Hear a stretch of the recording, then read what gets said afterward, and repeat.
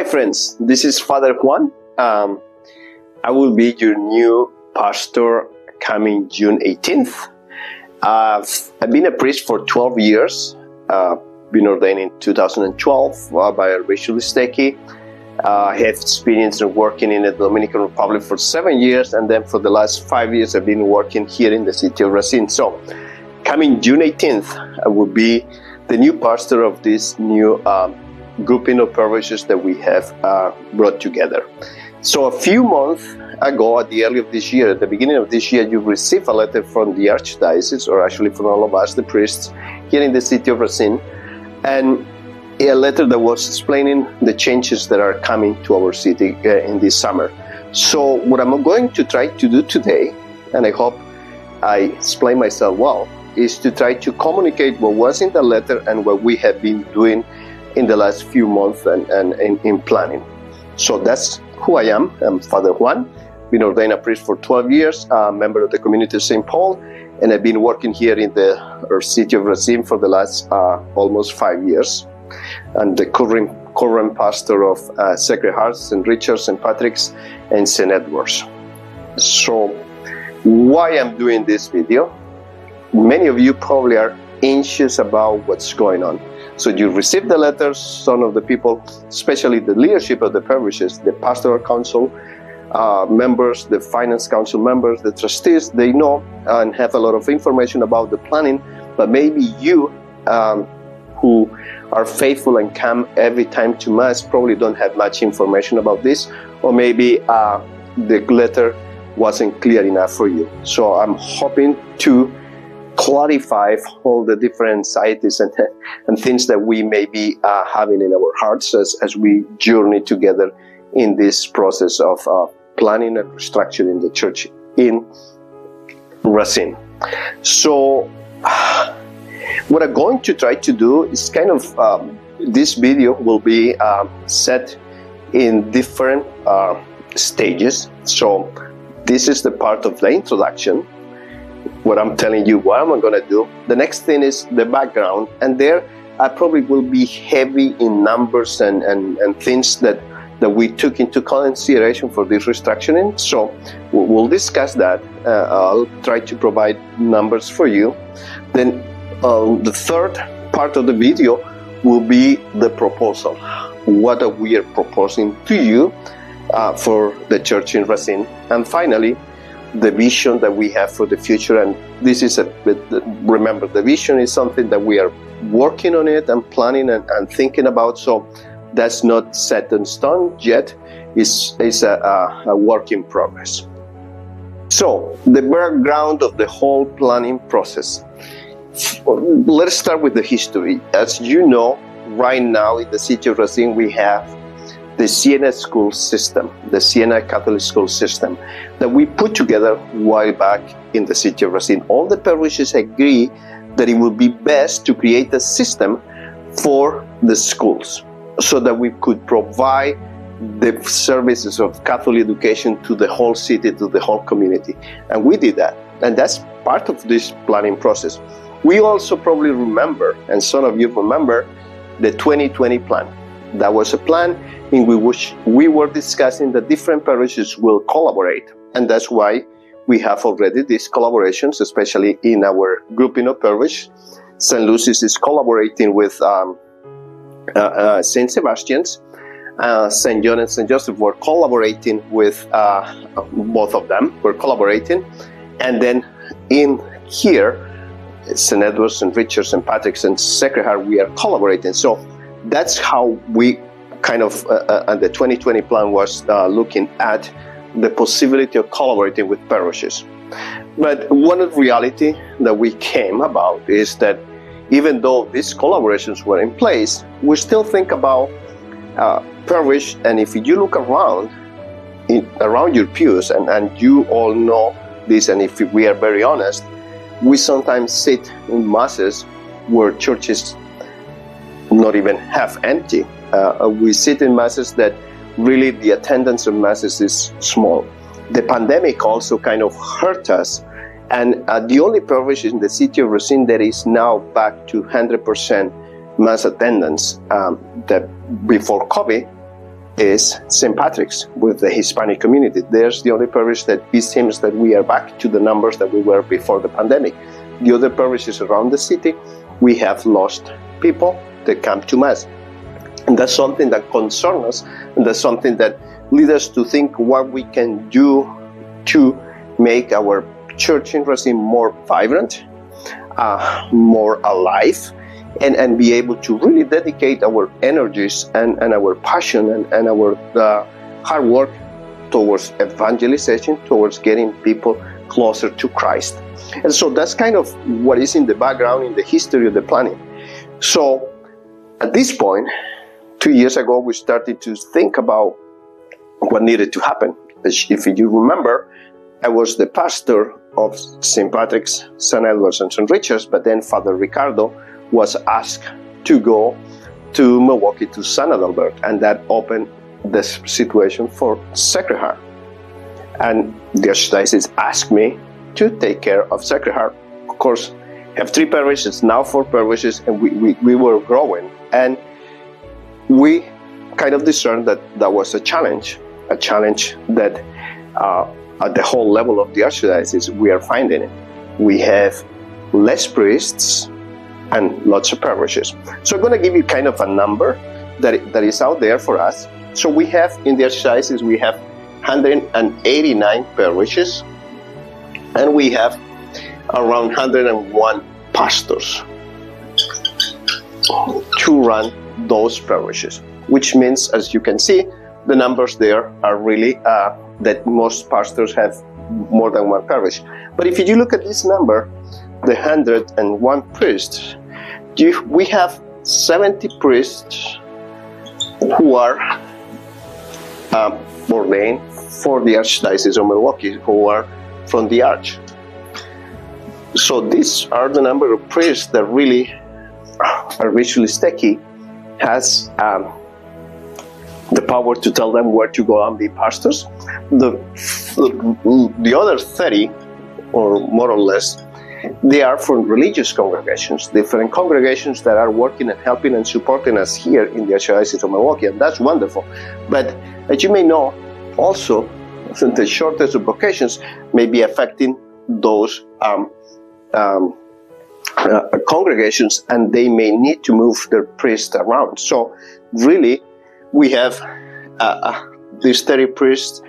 We have them. They are supporting us and they are helping us, but we don't really know how long they will be with us because their congregations, as we see around, they also need to do their own planning.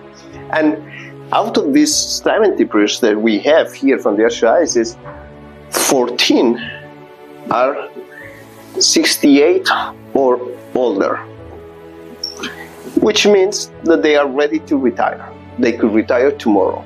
And if they retire tomorrow, there will 14 less pastors to take care of parishes. So that's kind of one of the challenges that we already have there. And then another challenge is we have about 25 um, international priests who are ordained for the Archdiocese of Milwaukee and working here in the Archdiocese of Milwaukee, like myself. But we have some immigration issues with them. Uh, they are not permanent residents, they are on a religious worker visa, which means that they may have to leave the country for a year, they may have to go out and, and different things. So that gives us really a very difficult and challenging thing that even uh, to appoint pastors of those priests uh, is, is a challenge.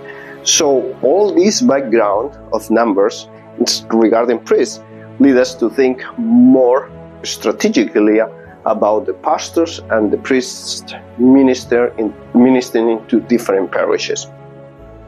So now, we, we have seen that, that the situation with our priests is pretty uh, precarious, and we need to be mindful of that because we want to have holy priests who could serve in their communities and, and not stretch out pretty thin that, that could not really be uh, effective in the ministry. So we, we, the idea of us planning is to actually provide the opportunity for priests to thrive in their ministry. So now, that's the background on the priest side, but let us look at the um, people on the pew side here in our in our uh, city of Racine. I'm going to give you numbers. So we we have within the deanery of Racine, which is east of the interstate um, and, and the county, this area of the county, we have 12 parishes. So 12 parishes. So those are St. Mary's by the Lake, St. Louis, Caledonia, St. Paul, St. Rita, St. John, St. Joseph, um, St. Patrick's, uh, St. Richard's and Edwards, Sacred Heart, and then St. Lucy's and St. Sebastian's. Those are the 12 parishes of the city of Racine. So, in any given Sunday, in the city of Racine, we have 32 masses. 32 masses on Sunday. And we have about 3,900 people who come to Mass on the weekend out of 17,000 Catholics that we have in the city. So, as you can see, numbers are low. But if you divide that, it will give us an average of around 120 plus, 23 or 24, somewhere there. Uh, but an average of a mass.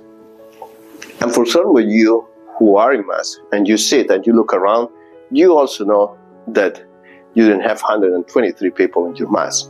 And so we see that we have all these amount of masses and, and this small number of people participating in the mass. We are probably in the city of Racine overbuilt for the number of Catholics that we have in, in, in our city and for the number of people that are coming to Mass. Our capacity is probably 10 times more than the people that we have in the pews. So that's one reality that, that we really need to take into consideration and see. And that's um, what leads us to think how can we really collaborate? How can we really plan for the best of the church in the city of Racine? So, what we did was looking at the numbers of priests, looking into the history of how we had planned here for the city, looking also at the numbers of people on the pews and the different masses, we started seriously a conversation between all the pastors here in the city and say, what are we going to do for our church in the city of Racine that could be really thriving, that could be really a, a church that is vibrant, a church that really could make people uh, feel that they are belonging to something that is powerful and great. And so we took a step back and thought from scratch and thought about what is the question maybe for us in the background was what is the church that we want to see 20 years from now? Not the church that we have now, or that could have been the church of the past. No. What is the church that we want to see 20 years from now?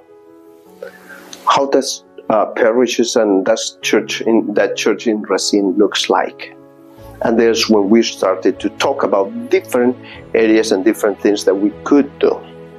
And so that's kind of the background that led us to discuss and make a proposal for you that led us to write this letter to all of you. So we have revised what is the background, no? the historical one, the priest background, the numbers of shortage of priests that we have, and then also the shortage of people that we have in the pews. That's what led us to come to this moment of planning and making a proposal. And for this, we took a lot of meetings and a lot of into consideration to think what would be the best proposal. Remember, the idea is the church that we want to see 20 years from now. And that's what I invite you to be dreamers with me. Like dream about that wonderful church that we want to have for us here in Racine. A church that could really be vibrant, could dedicate uh, herself to evangelization, a church that could really be the, the, the leaven in the middle of society here in Racine, the church that could be the ferment for this city and become really vibrant. So that's that's what we have in mind. So we took into the consideration all the different relationships that were there. And and some people have asked and say, well, Father, why four parishes in one group and eight parishes in the other group. Here is the thing we look into different areas or different parishes that were collaborating already and were having uh, this this um, collaboration uh, uh, working relationship that was good. And so we said one of the principles for this planning is not to break any of the things that are already working. The only thing that happened here, and it was um, and with St. Mary's by the Lake, was one of the parishes that were working with St. Matthew's in the north. But that was kind of a, a situation in which you find a parish who, which is geographically in the deanery of Racine, but then working with a parish that is in and the neighboring deanery. We say, well, no, let's let's plan and keep all this together in one deanery. So when we look at those situations, so we decided also the other step was geographically. So how we're gonna gonna look at this? We we if if, if you knew, probably you don't know this, or maybe you know this because you are from Racine and you have been here longer than I am. But we have seven parishes that are within two miles of each other. And that also helps us to think like how can we group those parishes that are close to each other so that we could use better our resources. So the proposal that came was to create two territories. And, and we still need to work in, in the names and all that, but at least two territories. One that will be formed by four parishes, which is St. Paul and St. Louis, and then uh, St. Rita's and St. Mary's by the Lake. Those four parishes will be collaborating and working together in this new grouping and rearrangement of the church in Racine. And then the other eight will be together. And so that's St. John, St. Joseph, Sacred Hearts, St. Patrick's, St. Richard's, St. Edward, St. Lucy's, and St. Sebastian's. All out of those eight parishes, only the, the, the, the, one that is a bit far that you could say why why you put it in there is Saint Sebastian's because it's, it's the farthest away to the west. But the other seven are really close one by one. Well, we said, well, St. Sebastian's and St. Lucy's had been working for more than, uh, I think it's more than 10 years that are already a relationship of working. So we'll say, let's now bring them together. And so we have those two groupings four and eight. Okay, and that's that's the proportion of territories. So we we're kind of talking about the the, the southeast Racine and then the northeast uh, northwest Racine, but really it's just those eight and four parishes that are um, called and invited to work together, each one of them under one pastor. So we have discussed the background, we have discussed the proposal.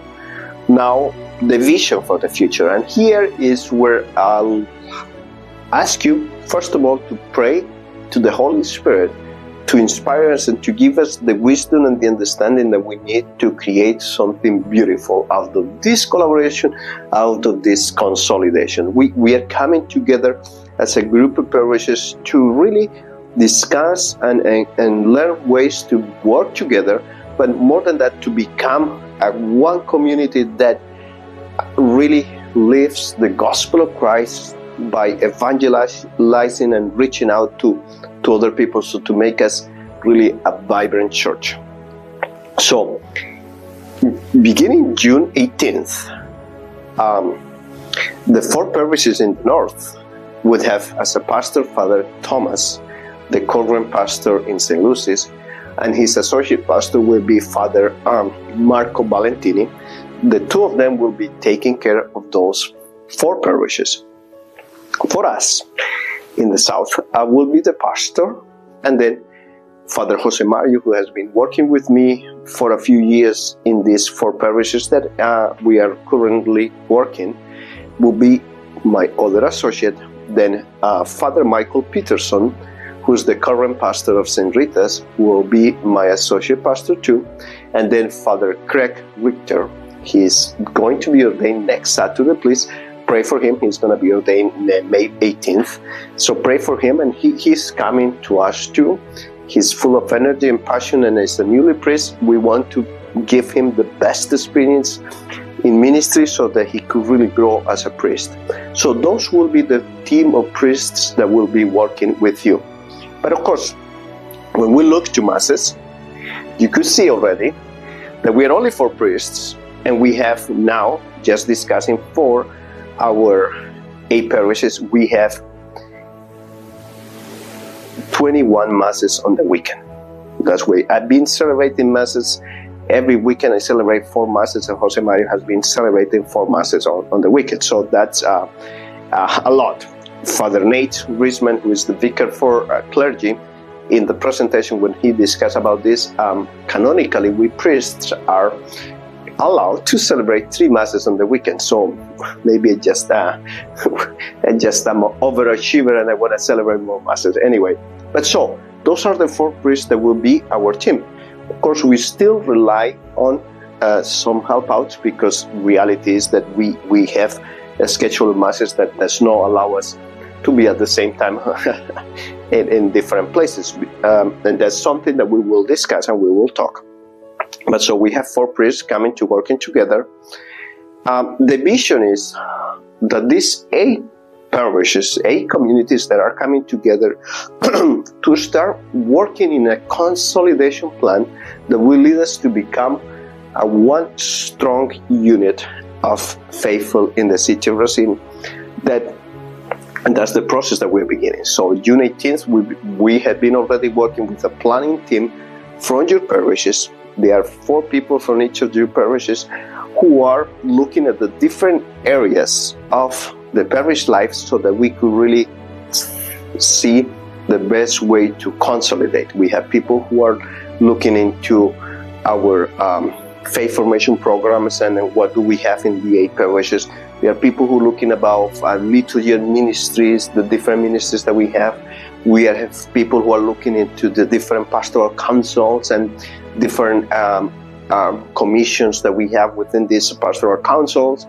Um, the staffs that we have, um, and we also are having people who looking into the finances of each of the parishes and buildings that we have, and and so they are looking into that, planning and thinking what we could do uh, what steps can we take to consolidate and become a stronger unit of faithful in the city of Racine?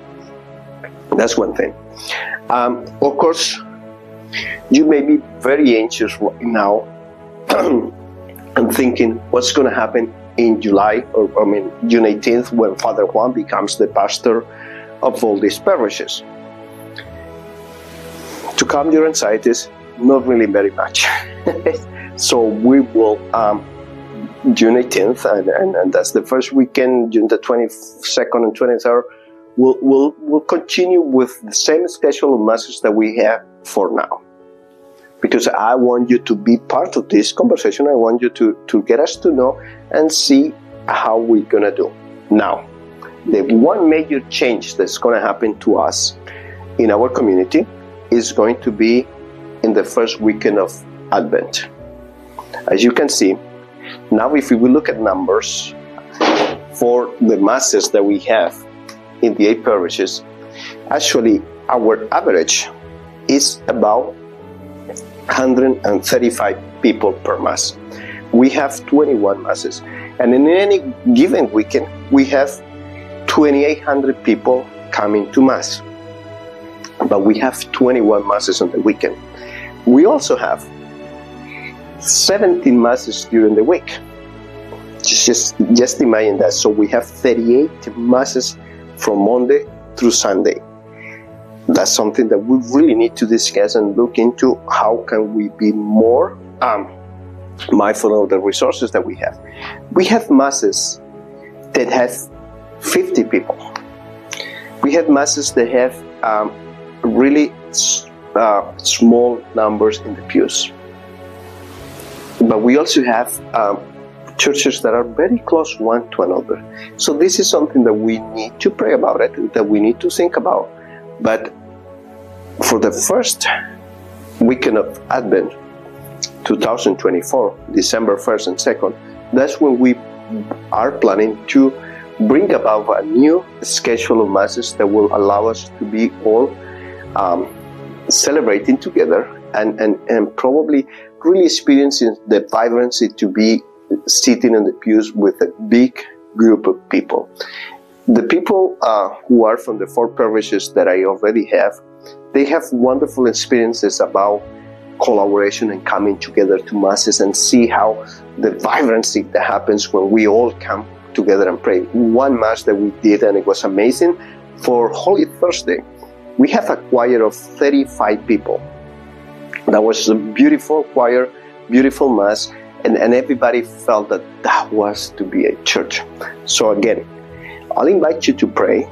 Pray for this process.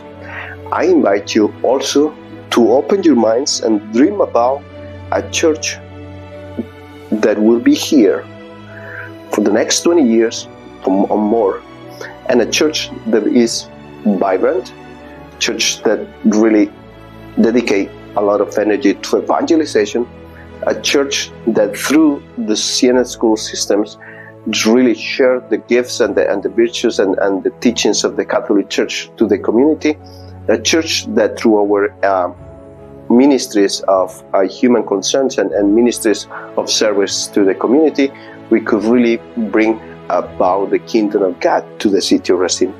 Uh, I'll invite you to pray for that, and we'll be, of course, giving you more updates. But I just wanted to explain to you what the letter that you receive is kind of uh, trying to say and communicate, and hope you, by watching this video, you kind of gain a deeper understanding of what we are doing and why we are doing that and who is doing this.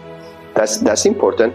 So if you have any doubt, if you have any questions, you could always reach out to me by email. I have my email is available in the web page. We also have in all the web pages of the parishes a, a tab that you could look into updates about our planning process. And so I hope this has been helpful and I hope uh, um, you really keep praying for this process and praying for the church and be open mind to the restructuring because I believe from my heart that if we do this well and if we, we do it thinking about the church and thinking about the greater good of our community, we could become a very strong community of Catholics who are really at the level of the kingdom of God in the city of Racine and could transform and change our reality and could be vibrant and, and could be really a vital uh, component of this society.